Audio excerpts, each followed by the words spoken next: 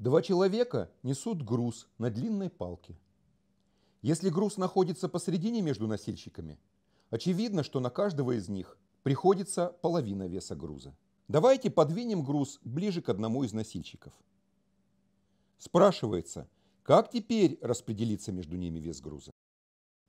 Посмотрим, как распределяется нагрузка между двумя людьми, несущими груз на длинной палке.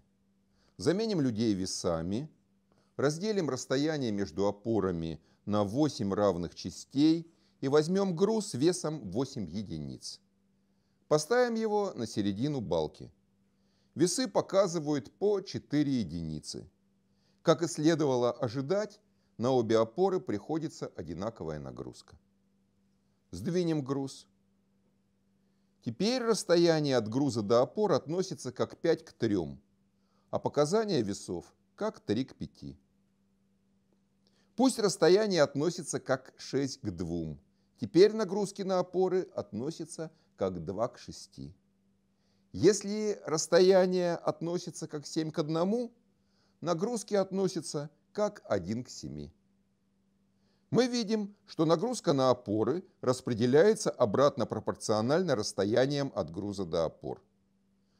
И человек, которому груз ближе, несет пропорционально больший вес. Попробуем понять, почему так получается. Мысленно уберем одного человека, а на его место поставим опору, чтобы получился рычаг. Нагрузка P2 относится к весу груза P так, как плечо груза А относится к длине палки L. Теперь вернем первого человека на место, а второго уберем. И опять нагрузка P1 относится к весу груза P, так как плечо груза B относится к длине палки L. Вернем второго человека на место и посмотрим, что у нас получилось.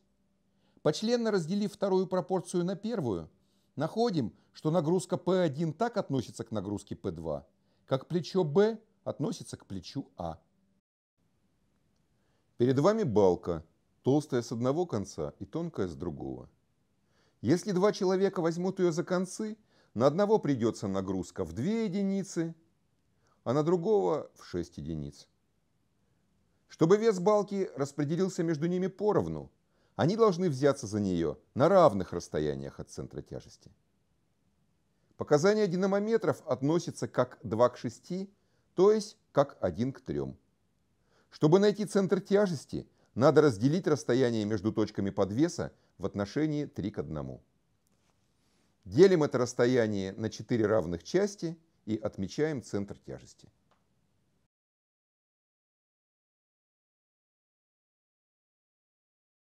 Для проверки положим балку на два указательных пальца и начнем их сдвигать. Пальцы встречаются в отмеченной точке. Это и есть центр тяжести. Пусть один человек берется за тяжелый конец балки. Другой человек, чтобы его нагрузка была такой же, должен взяться за балку на таком же расстоянии от центра тяжести, по другую сторону от него. Заворачиваем сюда кольцо,